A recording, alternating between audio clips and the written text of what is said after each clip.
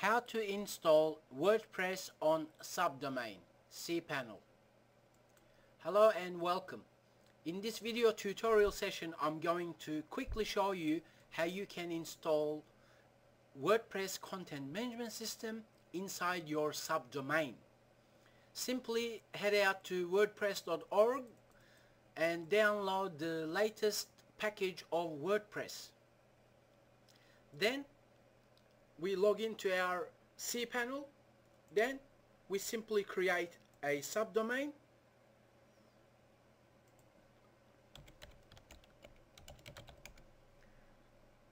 If you've done this bear with me because I'm quickly going to take you step by step showing you how to do everything properly right?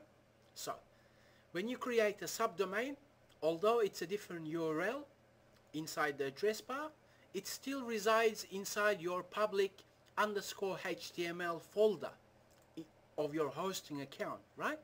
So let's create a subdomain. Now that we've created our subdomain, what we need to do is do a couple of things. First, we need to create a MySQL database so that our WordPress can use it, right? So my database surely you can name it to whatever you want to name it. Simply create that MySQL database. Now once we do we also need to create a user who will use that database right? So my username my username. Password. Simply make your password strong then we create the user. Now what we've done is we created our MySQL database and also a user for it, right? But we need to you know, tie the user to the database. Therefore, in your cPanel, simply add user to database. So we're adding the user we created, um, giving it you know permission to use the database, right? So simply add user to database and select all privileges. You can read more about um, user permissions um, for for your da MySQL databases, right? So simply we make changes. So what happened now? We've got a database and a username that's going to use that database. Now, the the downloaded WordPress package will be zipped. Therefore we need to unzip it. And this is um, inside our local computer right? So we've downloaded this. What we need to do is open it. Is we need to upload all these files inside our subdomain. So you can do that by going into files file manager. And as we can see now that subdomain is actually a folder within our public underscore HTML folder right? So what we need to do is upload all those WordPress um, installation packages inside this folder itself. So you can do that manually through your cPanel but that's going to take a lot of time. Therefore I strongly encourage you um, to use a file transfer program. I'm using FileZilla so you can do so use this program as well. So what we'll do is we'll log into our hosting account main hosting account.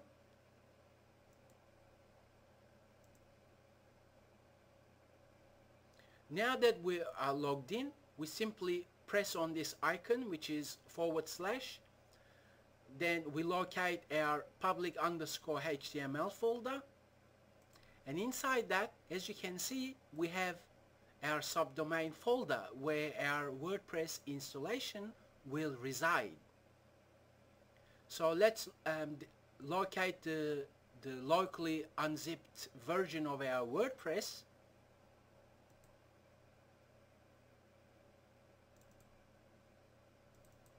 what we need to do is we need to upload all these files inside this folder so you can either control A to select all the folders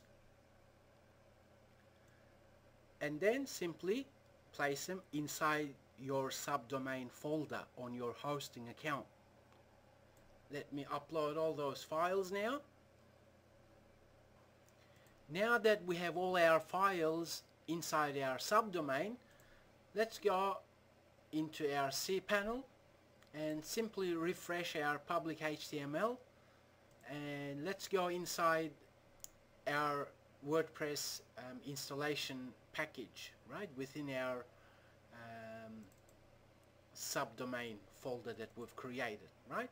So now what we need to do is first let's change this file name because as we can see it's got sample. Let's change that to not have the sample portion.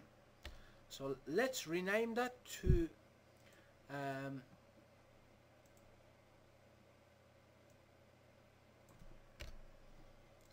let's rename it as such. Let's press on it and include the details for our database name right? So our database name was this. So simply you replace this text here to have your database name and username. Simply change this here to have your own username for that database and we simply need to change the password as well. Now we've done this this is all you need to do but um, let's also take it a step further to make it a little bit more secure. Simply copy this URL here copy it place it inside your address bar and hit enter. And when you do uh, WordPress is going to give you this encryption, encryption key. Simply copy that and then replace all these text here. Simply delete and then control paste. Now that we've done this I'd like to give you one more um, quick tip as in um, default package of WordPress content management system gives you this table prefix right so I strongly encourage you to change that.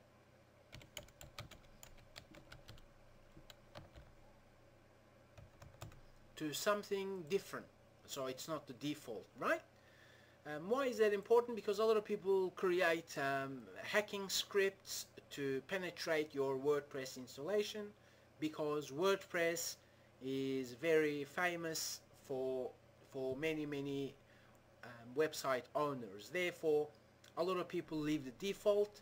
Therefore hackers you know know that so they take advantage of that. Therefore making this simple change you know changing your table table prefix will only be better for you. So therefore once we've included all the details within that um, WordPress config file we hit save changes. Now that we've saved the changes if we place our subdomain inside the address bar and visit. And there we have it. Site name your site name. Um, now username. Okay this is a little bit tricky. Now we've created uh, uh, MySQL database and a username okay? That's to do with um, your hosting account that's to do with your cPanel and so on right? But here you can now create additional user and that's what I would strongly suggest that you do. Create a user for your WordPress um, um, installations that's different to your um, cPanel and hosting account database and username right? Um, my username. Okay? So password.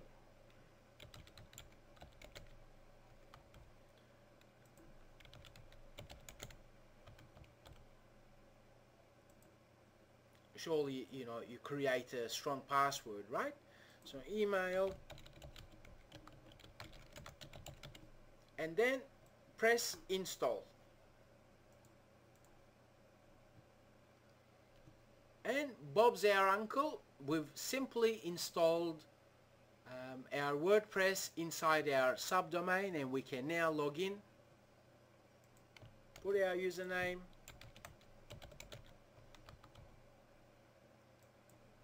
Login and voila there you go. It's that simple. I thank you very much for your visit if you own a WordPress site I have many useful video tutorials that shows you how to do many many things like achieve um, first position rankings in Google okay so if you're managing a WordPress site I strongly encourage you to subscribe because I will keep adding more useful videos for website owners like yourself. Thank you very much for your visit. This video tutorial session has been about how to install WordPress on subdomain cPanel. Thank you. Bye-bye.